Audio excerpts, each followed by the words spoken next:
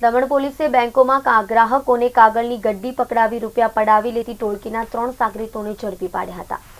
દમણમાં home guard ડિપાર્ટમેન્ટમાં driver તરીકે ફરજ બજાવતા હેમેન્દ્ર સોલંકી બેંક ઓફ ઇન્ડિયામાં કામ ગયા હતા. તે વખતે શંકાસ્પદ હિલચાલ કરતા એવા બે સમૂહ ઉપર શંકા ગઈ હતી. જોકે આ વખતે પેન્શન ઉપાડવા માટે આવેલા એક વૃદ્ધને મદદ કરવાના બહાને બંને ઠગબાજોએ કોરા કાગળની કોથળી પકડાવી અને રૂપિયા લઈને ફરાર થઈ જતા હોમગાર્ડ જવાન અને પોલીસે ત્રિપુટી ઠગ ટોળકીને ઝડપી પાડી હતી.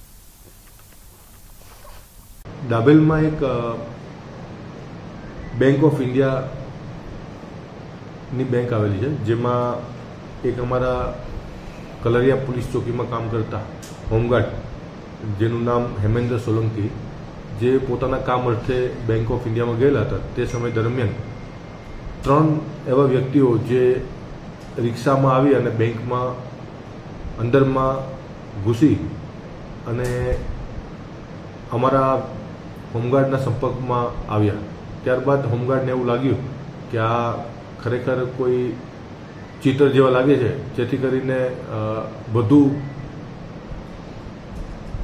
માહિતી માટે પોલીસનો સંપર્ક કર્યો કલરિયા આઉટપોસ્ટમાં. અને ત્યાંથી પોલીસ સ્ટાફ બોલાવી અને આ વ્યક્તિઓને ત્યાં બેંકમાં જ પકડવામાં આવ્યા. ત્યારબાદ તપાસ કરતાં ખબર પડી કે આ વ્યક્તિઓ પોતાના પૈસાની એક ગદ્દી બનાવે છે અને ગદ્દીમાં વચ્ચે કાગળો હોય છે અને આગળ ને પાછળ પૈસાની એક એક નોટ હોય છે. ત્યારબાદ કોઈ આ અજાણ્યા વ્યક્તિઓ જેને